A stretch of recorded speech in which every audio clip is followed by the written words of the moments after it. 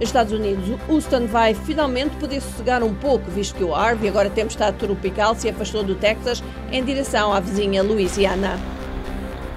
Bangladesh, Organização Internacional de Migração, diz que 18 mil étnicos Rohingya fugiram para o Bangladesh desde a renovação dos combates no vizinho Myanmar entre militantes e o exército.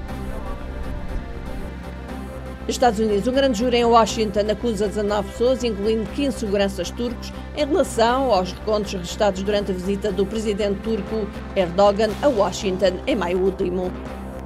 Índia decorre evacuações massivas na mega cidade indiana de Mumbai, onde pelo menos três pessoas pereceram devido às chuvas torrenciais. Arábia Saudita inicia-se a peregrinação anual muçulmana ao Hajj, quando milhares andam em redor da Kaaba em Meca